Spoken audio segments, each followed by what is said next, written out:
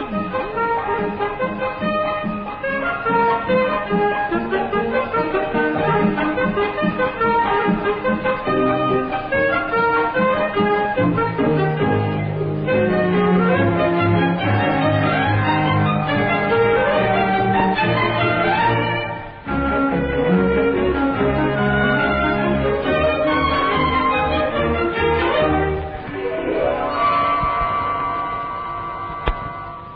Thank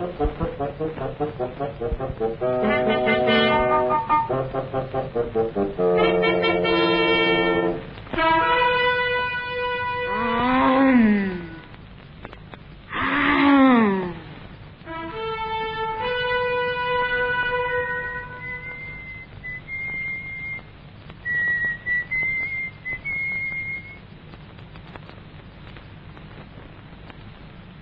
Però, poveretti, ne hanno fatte tante anche loro, ragazzi. Dove l'ho messo? Ah, eccolo, che stupida. Dunque, un libro del 1899. Pensa, cominciava il secolo, il secolo XX. Perché prima era 19 e l'hanno chiamato 20, che banalità. Dunque, hanno voluto fare gli spiritosi. Dice nel 1950 il mondo sarà così e così. Hanno voluto fare i matti, non sapendo che i matti saremmo stati noi. È un libro rarissimo. L'ho trovato in una bancarella. Sai quelle bancarelle dove io cerco sempre i libri perché sono belli, sporchi, luridi? Poi ci vanno anche i registi.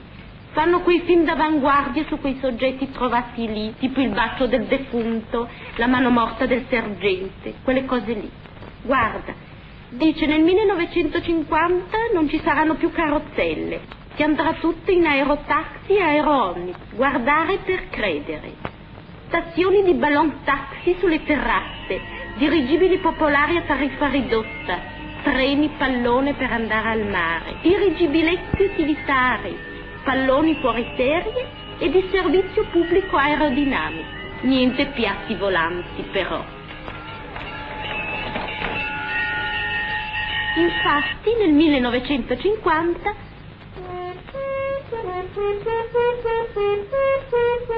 non crediate che nel 1950 ci sarà ancora qualche disgraziatone senza una lira. Neanche pensarlo.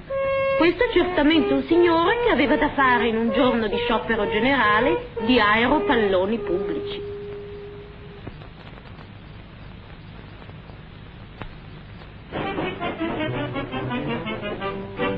La televisione invece l'avevano azzeccata. Però qualche cosa di veramente moderno l'avevano anche loro. Che care le nostre nonnine pazzerellone. Si divertivano con l'araldo telefonico. Siccome non c'era ancora Tchaikovsky, si contentavano di Verdi. Però cafone, scusa, provinciali.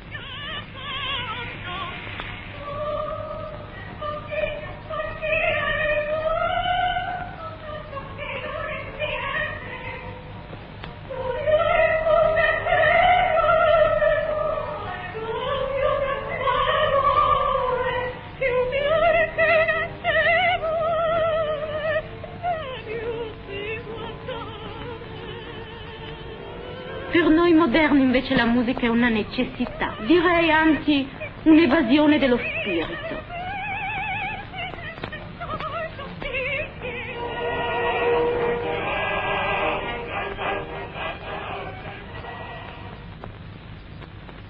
Attenzione al nome esploratore. Prego, sorrida. Grazie.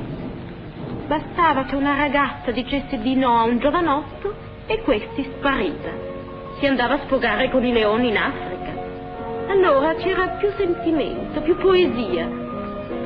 Le fanciulle con l'ideale infranto intristivano come pianticelle all'ombra e con le lacrime facevano il bucato ai fazzolettini. Era il tempo delle serenate, della campagna a beneficio della tubercolosi e dell'amor mio non muore.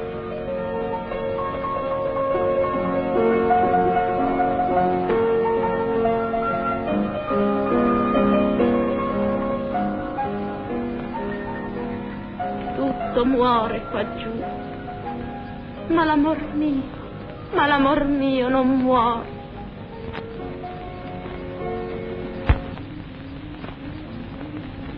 e gli uomini, tutti educati, sensibili, gentiluomini. Sapete cosa sta succedendo in questa livida alba sulla via Appia? L'ingegnere ha sfidato a duello il barone per l'onore di una sciantosa ital napoletana che pure regge al Trianon. Morivano. Ah, ma ti dico io. Oggi invece hanno inventato il linguaggio parlamentare.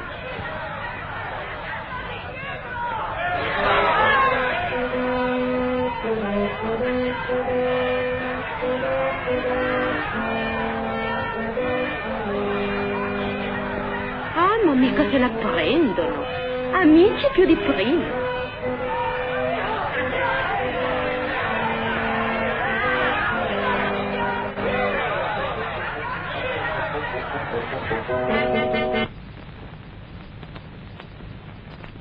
Ah, questa poi.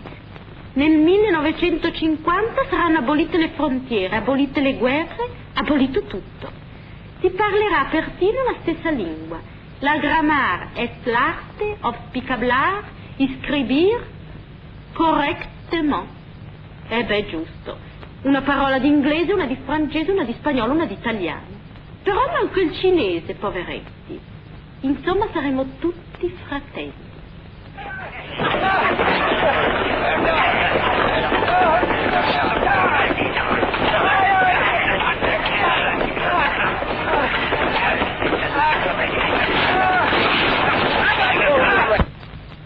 Però, poveretti, loro ci credevano davvero in un 1950 allegro, sereno, senza guai. Noi sapevamo che il mondo sarebbe andato a pezzi al primo scoppio di bomba atomica, o bomba H più divertente. Infatti abbiamo inventato le tasse infrangibili per questo. Eccole qua. E le calze nylon che non si smagliano mai, guardate le mie. Uff. Beh, una cosa è certa, l'avevano ben capita, che la donna del XX secolo non sarebbe stata la schiava dell'uomo, ma era destinata a salire sempre più in alto, fino a spiccare il volo. Che ci sarebbero state le donne intellettuali, le donne avvocato, le donne capodivisione, la donna commendatore, la donna chimica, senza perdere nulla della loro profumata femminilità.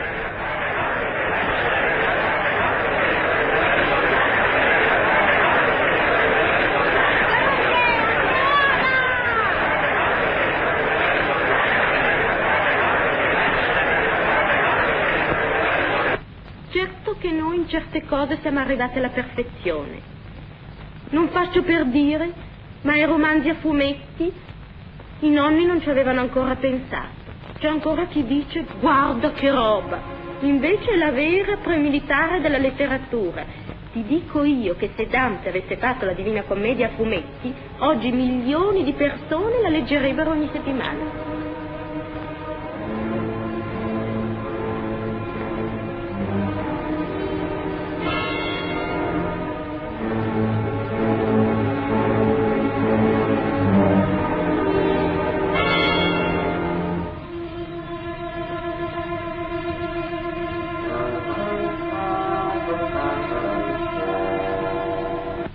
Sì, effettivamente questo è il secolo del progresso, il che ha le sue seccature ma anche i suoi vantaggi. Guarda, io per esempio adoro i meloni maturi. L'altro giorno ho chiesto alla Catti, la mia servotta detta Caterina.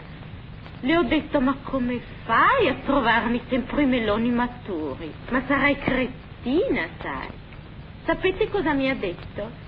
Dice, eh, ma Dio non lo sa, tutti gli organismi viventi manda fuori l'elettricità. E allora è semplice. Lei va dal fruttivendolo, si fa da 12 meloni, ma non mi faccia la micrania e farsene dar meno. Come che ha preso questi 12 meloni, piglia una lastra di vetro e se li mette sopra. E poi un filo platinato, proprio platinato, platinato vero. E si mette il filo platinato dentro nella cima del melone e lo collega col fondo di quell'altro, capisci? Vuol dire che se il melone è maturo manda fuori l'elettricità che fa suonare il campanello. Ma se proprio maturo, maturo, una suoneria che la senta fino in piazza.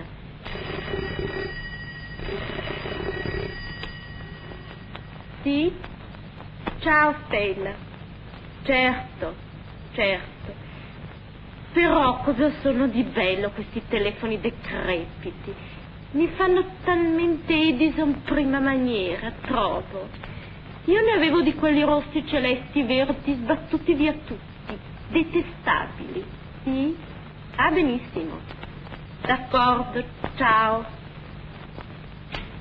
Mi scusate, riprendiamo la conversazione la prossima volta.